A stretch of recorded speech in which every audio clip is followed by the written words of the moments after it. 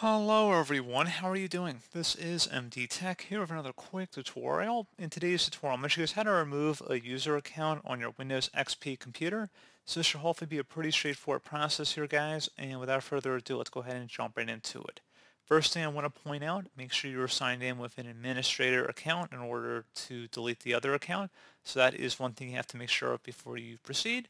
And once you confirm you are using an administrative account, let's go ahead and jump right into it. And we're going to start by opening up the Start menu. Select Run. Type in compmgmt.msc,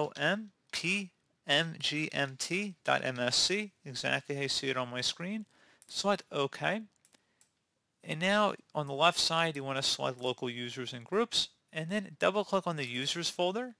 Right-click on whatever user account you want to delete, and select the Delete option. So each user is represented by a unique identifier which is independent of the username. Once a user is deleted, even creating an identically named user in the future will not restore access to resources which currently include the user in their access control list. Are you sure you want to delete the user Thomas or whatever name it might be in your case? Make sure whatever account you're deleting has been backed up of all of the files because we're going to be deleting this account. So go ahead and select yes.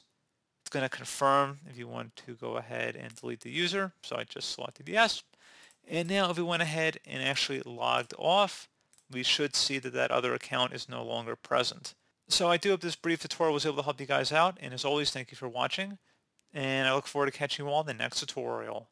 Goodbye.